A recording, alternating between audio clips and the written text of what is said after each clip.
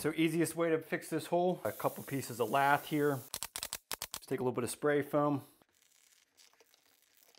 plaster weld.